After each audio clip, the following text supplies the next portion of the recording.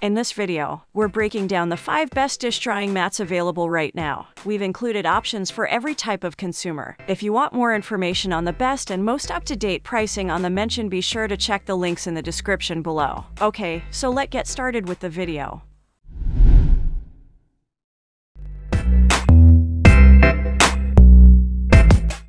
Do you wash all of your dishes by hand, or do you frequently hand wash large pots and pans? An extra large drying mat, such as this one from Bellemain, may be required. With a size of 24 by 17 inches, it can comfortably hold a large baking dish or pot, as well as a number of plates and glasses without slamming into one another. The three-ply microfiber and foam structure absorbs moisture rapidly and dries quickly for simple storage in a drawer. Because of its extra large size, this mat can be used for more than just drying dishes. We adore these mats and have several that we use for drying dishes. One satisfied buyer adds, we also have a large one that we use as a bath mat. This most recent purchase serves as a pad beneath our dog's dish. He is continually spilling water out of his bowl, causing a mess on the kitchen floor. I purchased him a skid-proof dish for Christmas, but it was ineffective. Then I got this XL mat and placed it under his bowl, which addressed the problem.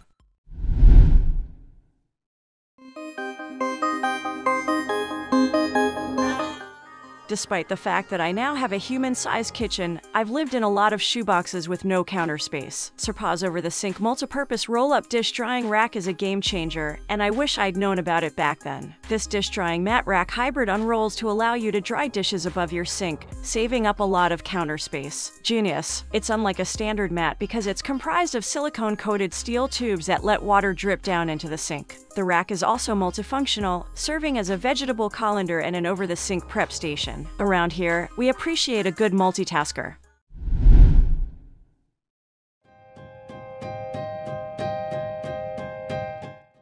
If you enjoy patterns, the S&T microfiber dish drying mat comes in a variety of designs, including gingham, trellis, and even cute owls. However, all of the styles are reversible, so if you're easily bored with the same old decor, this is the next to the sink item you've been lacking. This mat is functionally comparable to the Knorr Pro discussed above. It's constructed of soft microfiber that absorbs a lot of water without ruining your counters, and it's also foldable and machine washable. We like that the patterns aren't too girly and can be used in a variety of kitchens.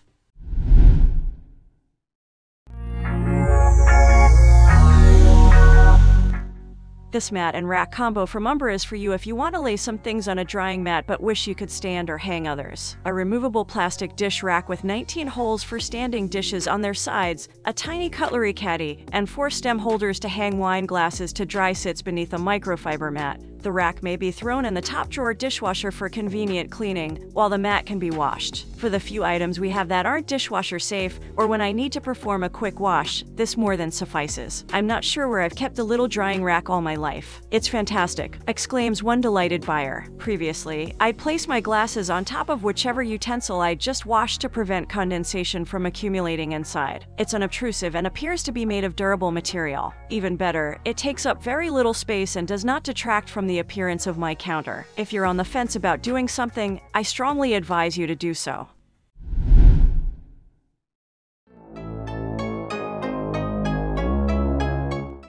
Microfiber is excellent, but silicone is also a popular material. The ribbed pattern on the OXO Good Grips large silicone drying mat allows water to drain while keeping dishes above the liquid and bacteria-free. Because the substance is non-slip, it will stick to your surfaces without endangering your breakable dishes. It's also a multi-purpose item. Not only will your dishes remain dry, but the non-slip base will keep stemware and other delicates safe. If you want to use and store dish mats, they are simple to roll up and store in a drawer or hang on the inside of a cabinet door.